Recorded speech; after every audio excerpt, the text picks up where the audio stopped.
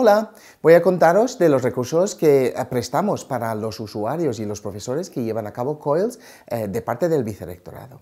Entonces, nuestra ayuda hacia los profesores que quieren llevar a cabo COILS se divide en tres áreas distintas. Una es formación, la segunda es apoyo con documentación y la tercera es apoyo tecnológico.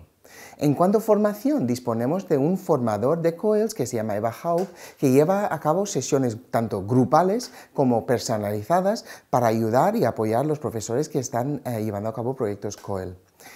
En cuanto a la documentación, Hablamos de formularios, cartas de presentación, ayuda en la búsqueda de, socios y también eh, documentos que os resultaría interesante o útil a lo largo del proyecto para controlar, manejar y recuperar la información que necesitáis de parte de los alumnos.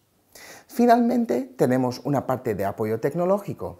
Dentro de tecnológico hablamos de tecnologías asíncronas eh, que incluye pues, el, conjunto de programas Microsoft que tenemos a través de Microsoft Office 365, Word, Excel, etc.